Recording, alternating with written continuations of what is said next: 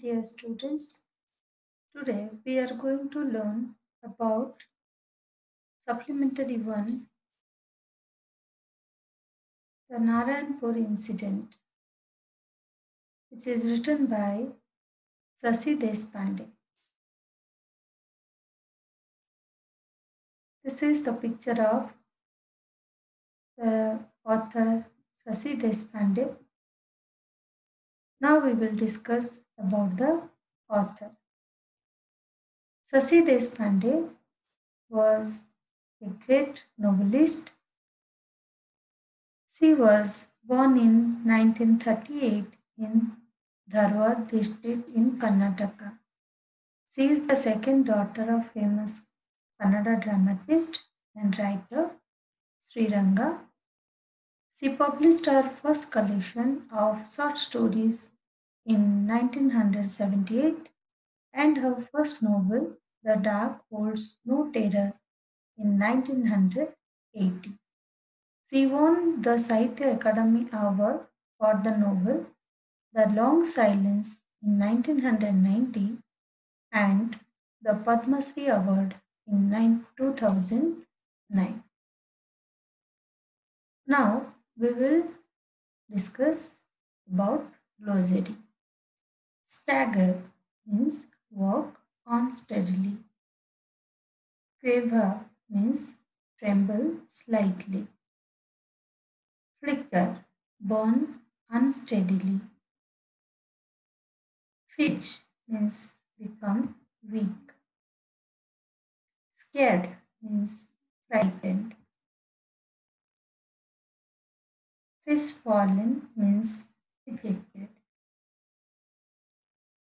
Stewardly means showing sound judgment.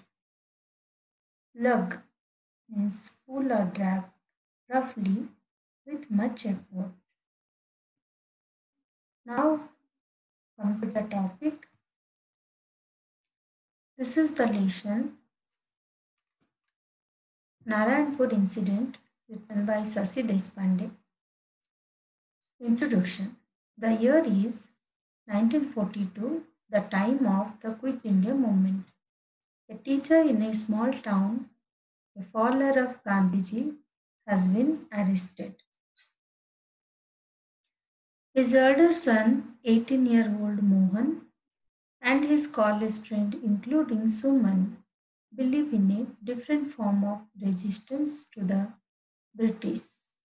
His younger son, Babu, aged 13, and daughter, Manju, two years young, are also keen to participate in the struggle against the British. Are you coming, Manju? Babu asked. Coming where? said Manju. Even as the brother and sister were talking, they heard magical word. They are coming, they are coming. The children, like others, rush out. Heedless of the rain, policemen now appeared all along the road. Some of them walk in front of the students, some by their sides, but the students march as if the police did not exist. They walk in complete silence. There were no slogans, no shouts, just the shuffle of feet, the drip of rain, and a low murmur from the watching crowd. Babu and Manju looked eagerly for Mohan. Yes, there he was dressed in white pyjamas and cream colored shirt with another bod with both holding aloft a picture of Mahatma. Here you can see the students are coming in a march by holding the picture of Mahatma Gandhi.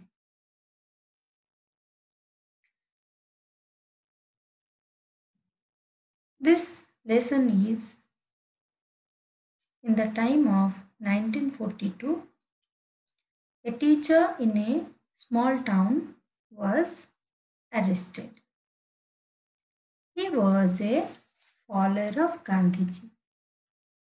His elder son, name was Mohan, younger son was Babu, and daughter is Manju. Along with Mohan's friend, they decided to participate in the struggle against the Britishers. The students protested against the arrest of their teacher and took out a rally in complete silence. They marched without any slogans or shouts, even though it was raining. Mohan and his friend had been holding a picture of Mahatma Gandhi, whose picture Mahatma Gandhi's. For a long time, but their faces were expressionless. The leader of the procession had reached the bear gates. A police officer had come with some conversation with the students. They had talks for some time. Then one of the students handed the officer a piece of paper. The office took it without even glancing at it. The students turn around and march back the way they had come. Their arms must have as holding it up that way for so long. But their faces were expressionless. Why? Because now the leaders of the procession, Suman, was one of them. They saw in excitement had reached the bad gates. Police officer, he was the DSP. Who was he? Who was the police officer? The police officer was the DSP. Mohan told them later, came up to them. There was some conversation between him and the students. The students seemed to be arguing. The rain had lessened now, and the police officer took off his hat and ruffled his hair. Once he laughed, showing all his teeth, but the students remained serious. One of them handed him a piece of paper. He took it without glancing at it and nodded. The students turned their back on him, and one of them shouted, Mahatma Gandhi ki jai. The others shouted back loudly, and then they briskly marched back the way they had come.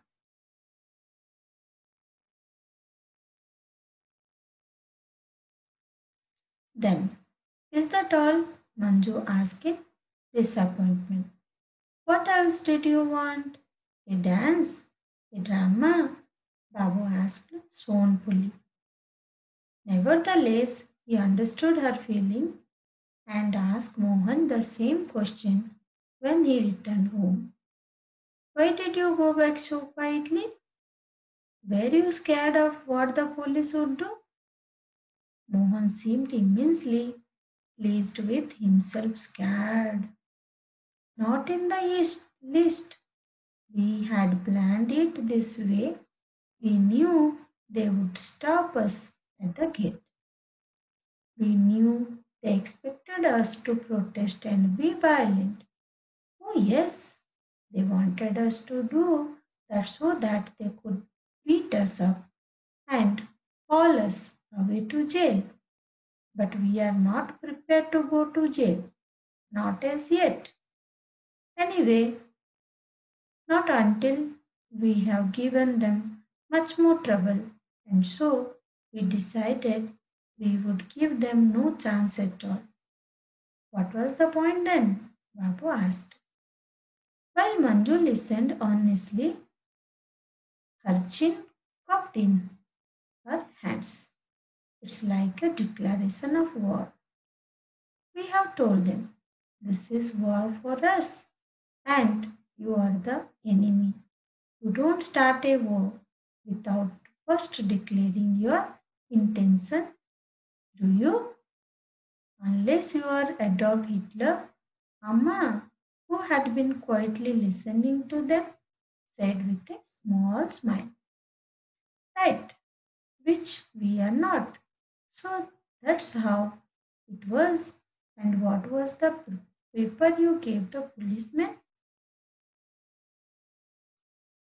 That was a notice served on a collector as representative of His Majesty's government, asking them to quit India to face the consequences. Here, see students, when Mohan reached home, Babu and Manju asked whether the students were scared of the police. Mohan replied in negative, saying that the officers wanted them to behave violently so that they could put them in jail. But they had planned beforehand not to be violent. He further told him that the paper given to the officer was in fact a notice served on the collector asking him to quit India or face the consequences.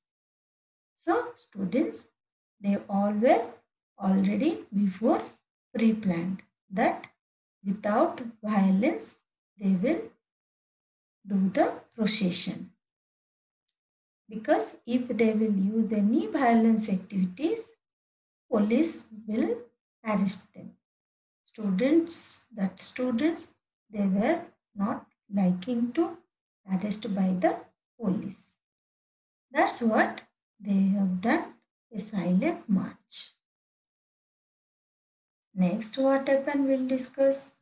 Suman and another boy turn up after they had finished their dinner that night.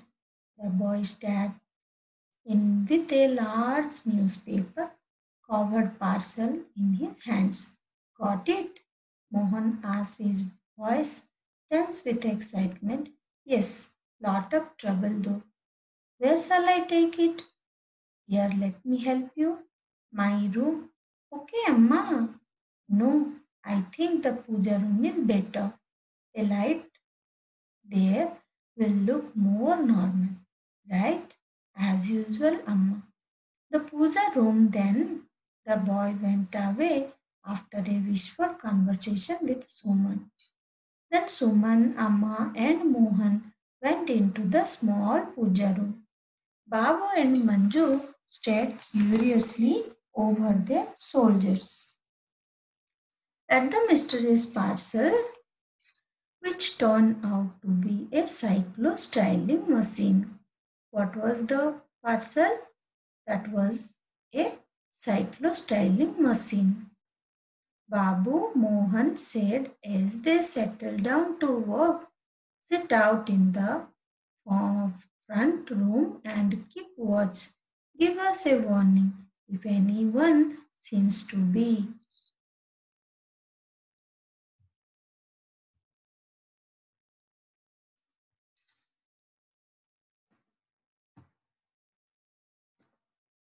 Coming to our house, Manju go to bed or else he went on noticing her crestfallen face. You sit here in the hall and pass on Babu's warning to us.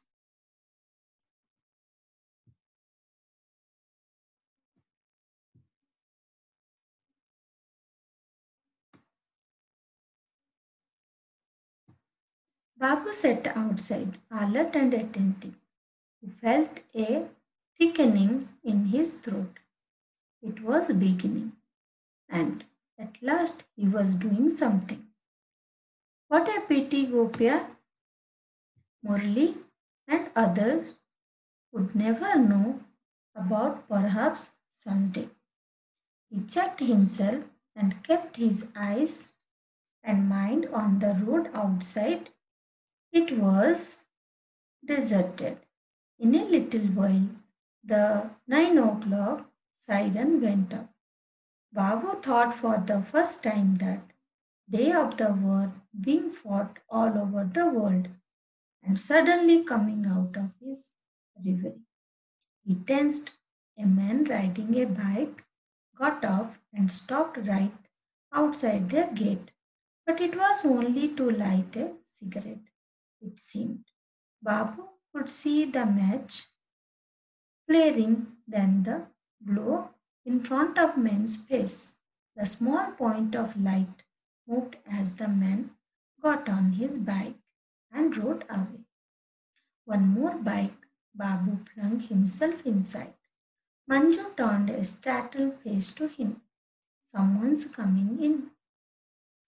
There was silence from inside the puja room. Their faces looked at his blankie. The dim light giving them a peculiar look. Shadows quivered and danced as the wick in the oil lamp flickered and fidged. The Namma got up and came out, followed by Mohan. Suman stayed inside and Mohan closed the door of the room. Manju, go to bed. Babu, you too. There was a knock at the door. Babu rushed to his room, unrolled his bedroll, and threw himself on it. A knock again. Who is there? Amma called out. Knock, knock. Mohan, go and see who is who it is. Manju, who had got into bed to notice the door. Amma's voice was steady. Her hands trembled. Mohan came in saying, Amma, it's Patil, the sub-inspector. Amma held Manju's hand in a tight, hurtful clutch, though her voice was still cool and calm. What does he want? He wants to talk to you, to me. The hand relaxed. Manju drew her own hand back and rubbed it softly. I haven't come to trouble you, a strange voice said. Your husband was my friend in school.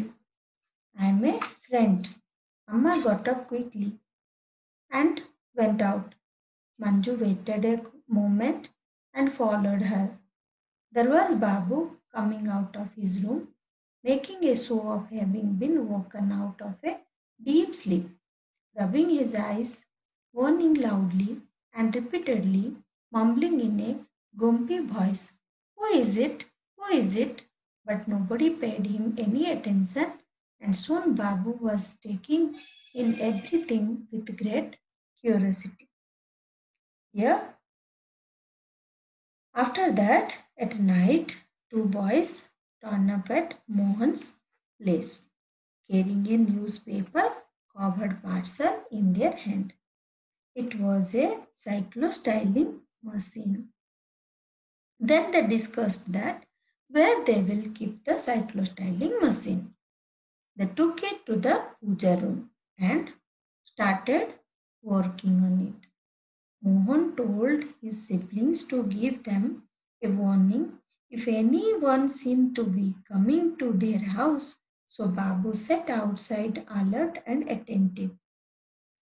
When the family members decided to go to sleep, there was a knock at the door. Mohan went outside and informed Amma that Patil, the sub inspector, had come. Patil came inside and told them that he was her husband's friend who had always helped him, and now he had come to inform that there was going to be a search in their house that night as he heard his sahib talking about cyclostyling machine. Then Patil informed that he was the friend of his hus- her husband means Amma's husband and outside Patil listened about that there is a search in their house why search is there for their house because of cyclostyling machine. Now, the police department they get to know that in Mohan's house they kept one cyclostyling machine. What is cyclostyling machine? Cyclo- in cyclostyling machine they can print Mahatma Gandhi's speeches. Then, after Patil's information, what happened? We will discuss now. The man, was he really a police officer? He didn't look like one in his dingy clothes. He was saying to Amma, Yes, we were in school together. Oh, yes, he was far above me. He was a scholar. I was one of the dunces. He always helped me. Though God knows how often I would have been canned but for him. Please, Patil Saheb, Amma said rather impatiently, tell me why you are here. It's like this. Suddenly, the man was brisk and businesslike. His glance swept over all of them, taking them all in swiftly. Certainly, this man was no dunce. There's going to be a search in your house. When? Most probably tonight. I heard Sahib talking. They were speaking of a cyclostyling machine. It seems you people are making copies of Mahatma's speech. They say you have people hiding here as well. Ha! Mohan scoffed. But you have the cyclostyling machine. No, Mohan repeated angrily. You are wasting time spying on us. Tell me, the man ignored Mohan and spoke to Amma. Yes, Amma replied simply. And Mohan made an angry hissing sound. Where is it? Amma, you have gone. Inside Manju's heart began beating wildly. Why was Amma giving them away? Give it to me. I'll get it out of the way. You can have it when it's safe. Mohan burst out again. Amma, what are you doing? How can you trust a policeman? The man touched Mohan on the shoulder. Mohan, you are still very young. There are many things you don't understand. I am a policeman, yes, but your father was and still is my friend. And this is my country as much as it is yours. Now give it to me quickly. They may come any moment. Amma opened the door of puja room and said, Suma, Suman emerged, wiping her face with her sari looking anxiously at them. Come in, Amma, beckoned to the man. It's here, Suman stared at Amma, and man is bewilderment. Amma smiled at her and said, You have got to get away. Suman, take away all that material. Mohan, will you? Here, when Patil asked for cyclostyle machine, Mohan was little angry and angrily he said to Patil that simply you are wasting your time by spying us. We do not have anything. But Amma believed to Patil and Amma replied simply and silently that to Suman, you go and bring the cyclostyling machine. When Mohan said that we do not have anything, Patil just kept his hand on the shoulder of Mohan and he said that you are very young to understand our friendship. I was your father's friend and still your father is my friend. How this country is yours? This country is Mine's also. Though I'm working in police department, but my heart is beating for my country. So you can trust me without wasting your time. You hand over that cyclostyling machine to me because the police people they will come soon to search your house. Then Amma went inside the puja room and brought the cyclostyling machine under her sari. Then what happened? We will know now. Mohan stared at Amma, at Suman, and finally at Patil, stared steadily back at Mohan, and suddenly the two smiled at each other. Okay, Amma, Mohan said and walked into the puja room. He locked the machine out and gave it to Patil. Do you have a large spec with you? The man asked. Manju, Amma began, but Babu had already got That's fine, that's fine, the men said. And then they were gone. Patil, Mohan, and Suman. The house seemed unbelievably right after earlier intense activity. Let's go back to bed, Amma suggested. Mohan came back shortly. Suman, Manju asked him anxiously. She's all right. Go to bed, Manju Amma said. Bed? With police about to come. But nevertheless, she did drop off at some time and came out of her sleep with a jerk to hear a loud knock at the door. It was repeated. Manju sat up in sudden fright. Amma petted her com- confrontingly. Who is it? She asked loudly. Open the door, a strange voice ordered. Mohan see. Who it is? Amma said. It was like going through something all over again. But this time they knew for sure it was not a friend standing out there. No need for Mohan to announce, Amma, it's the police. Then, at the end, what happened? Mohan denied to give the cyclostyling machine, but Amma said that we can trust to Patil and Amma gave the cyclostyling machine to Patil. Then Mohan went inside the puja room, brought out the machine and handed it over to Patil, who left with the machine. Mohan and Suman also went with them. The house became quiet and they went to sleep. After some time, Mohan came back. Amma woke up with a jerk as he heard a loud knock at the door.